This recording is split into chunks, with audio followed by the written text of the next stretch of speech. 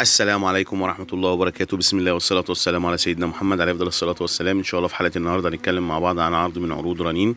عروض رنين اليوم الأحد والإثنين. العرض ده مليان شاشات وأجهزة كتير جدا آه وكمية شاشات كبيرة. إن شاء الله الحلقة هتعجبكم بإذن الله تعالى. يلا بينا نبدأ على بركة الله. بالصلاة والسلام على سيدنا محمد عليه أفضل الصلاة والسلام.